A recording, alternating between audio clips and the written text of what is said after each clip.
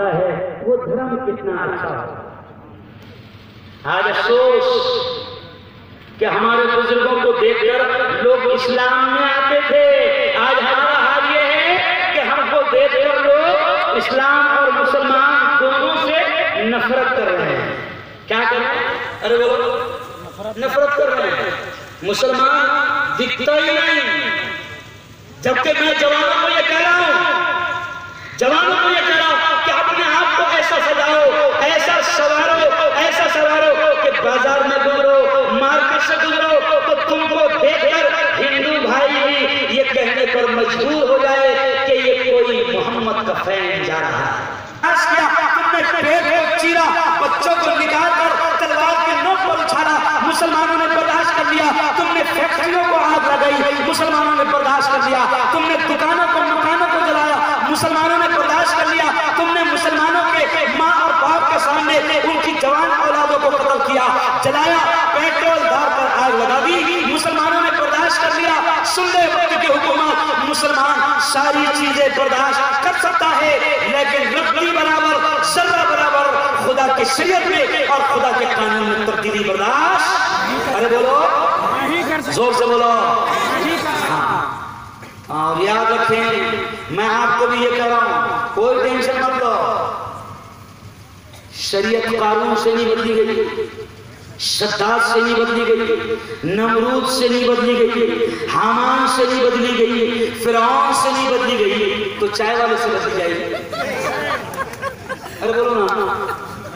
ارے بولو بھائی۔ نہیں ہو سکتا سمجھ رہے ہیں لیکن اب اہم بات آپ کو کیا کہنا چاہ رہا ہوں یہ ہمیں مولانا گورنمنٹ سے شکایت نہیں ہے۔ طے ہے انشاءاللہ۔ کچھ نہیں کر سکتے۔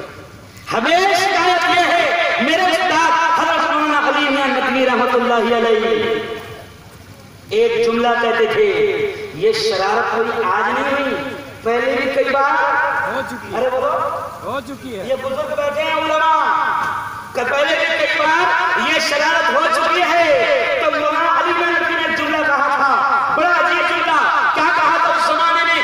آج سے پچیس سال پہلے ستاویس سال پہلے جب اندرا کے زمانے میں شریعت کی تبدیلی کی بات ہو رہی تھی، تو مولانا علی میں نبی نے کہا تھا، مسلمانوں سے کہ مسلمانوں، اگر حکومت شرارت کرے گی، ہم ایک بار روکیں گے، ہم دو بار روکیں گے، ہم دس بار روکیں گے، ہم ہزار بار روکیں گے، لیکن مسلمانوں، ہم تم سے کہتے ہیں کہ تم کو کس نے منع کیا شریعت پر عمل کرنے کا؟ تم کو کس نے منع کیا؟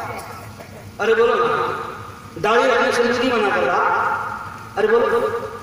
ارے بولو بھائی۔ نماز کو جانے سے یوگی منع کر رہا ارے بولو۔ کون سی حکومت منع کر رہی ہے آپ کو؟ کیا جھارکھنڈ کی حکومت آپ کو منع کر رہی ہے کہ آپ نبی کے طریقے پر شادی نہ کرو؟ کیا جھارکھنڈ کی حکومت آپ کو کہہ رہی ہے کہ آپ منگنی کرو، ملیرا کرو؟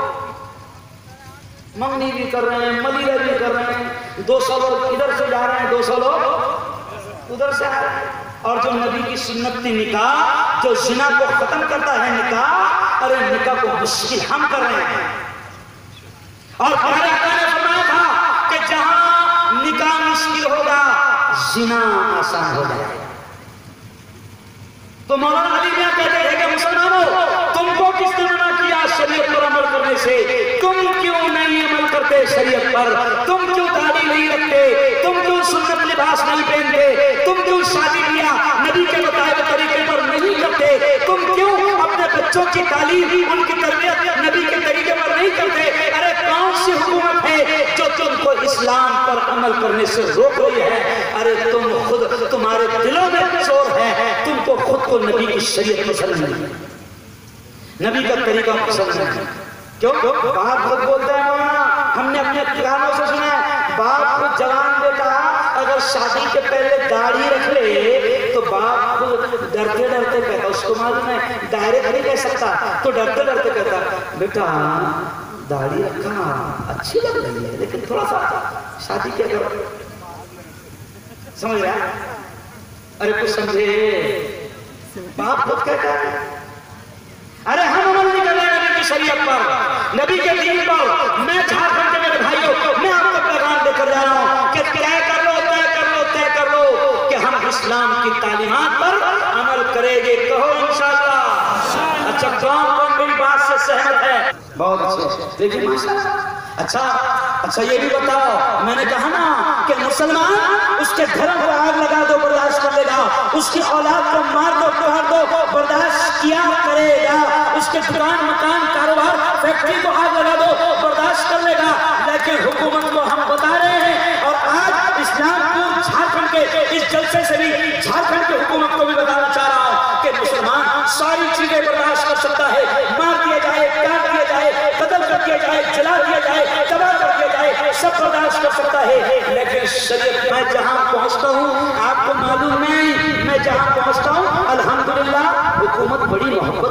محبت سے سی آئی ڈی یہاں آئے۔ ہیں سمجھ رہے ہیں پہنچاؤ کہ مہاراشٹر سے مفتی ہارون آیا تھا۔ اس نے خبردار کر گیا کہ مسلمان ساری چیزیں برداشت کر سکتا ہے، لیکن خدا کے قانون میں رکھتی برابر تبدیلی کی بات برداشت نہیں کر سکتا۔ سب سہمت ہیں میری بات سے؟ دونوں ہاتھ اٹھا کے بتاؤ کہ سب سہمت ہیں؟ لو مولانا یہ فوٹو لے لو لوگوں کا اور بتاؤ کہ جھارکھنڈ کے اجلاس میں کانفرنس میں مسلمان نے یہ اعلان کر دیا ہے۔ ہاں اب آخر بات سن لو، یہ کیوں ہو رہا ہے؟ اس کی وجہ ہے کہ شیطان جانتے ہیں ہم نے اتحاد نہیں۔ کیا نہیں ارے بولو، اتحاد نہیں۔ اتحاد نہیں۔